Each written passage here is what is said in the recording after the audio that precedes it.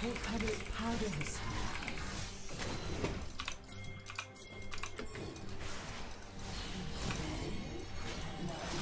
적의 억제기를 파괴했습니다. 아 처음부터 그냥 때리지 이걸 때린다고? 어 형님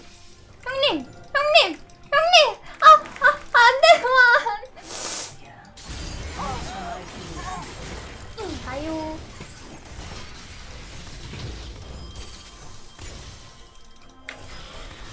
내가 막아줬어 친구. 아니 거기에 죽으면 어떡하냐고. 포탑을 파괴했습니다.